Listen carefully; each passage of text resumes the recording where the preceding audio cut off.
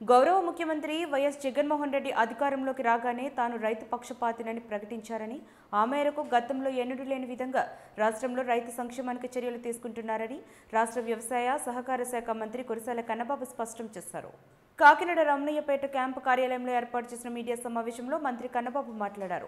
దేశంలో ఎక్కడా లేని విధంగా ముఖ్యమంత్రి రైతు భరోసా కేంద్రాలను ఏర్పాటు చేశారని ఇవి గ్రామాలలో రైతులకు అవసరమైన అన్ని సేవలను అందించడంతో పాటు విజ్ఞాన శిక్షణ కేంద్రాలుగా కార్యకలాపాలు కొనసాగిస్తున్నాయని స్పష్టం చేశారు.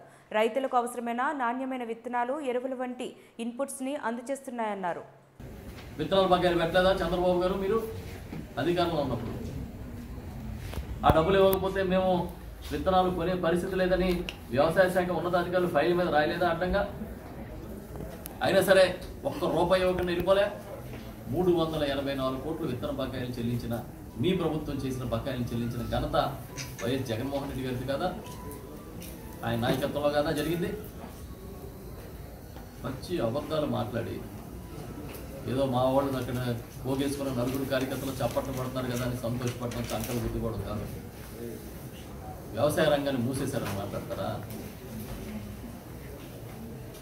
ఏనాడైనా రైతుల మీద ప్రేమ చూపించారా? వ్యవసాయం దండగని మాట్లాడే పెద్ద మనిషి కదా నువ్వు.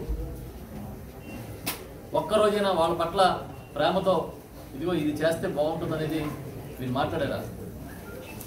మా పక్కనే ఉన్న కాకినాడ ఎస్సీ జెడ్ భూములు. మాకు ఎస్సీ జెడ్కి ఇవ్వం మా భూములు మాకు ఇవ్వండి అని చెప్పి రైతులు ఉద్యమాలు చేస్తే వాళ్ళని లోపల ఇంచి జైల్లో పెట్టించి పెద్ద పెద్ద రైతులతో కూడా జైల్లో బాత్రూమ్లు కడిగించిన చరిత్ర కాదా ఇది గౌరవ ముఖ్యమంత్రి జగన్మోహన్ రెడ్డి గారు వచ్చాక ఏం చేశారు? వాళ్ళ భూములు వాళ్ళకి తిరిగి ఇచ్చాం ఈ భారతదేశ చరిత్రలో ఫస్ట్ టైం ఒక ఎస్సీ జెడ్కి తీసుకున్న భూములు కనిపించిన చరిత్ర జగన్మోహన్ రెడ్డి గారిది. అవునా కాదా అని మిమ్మల్ని అడుగుతాను నేను.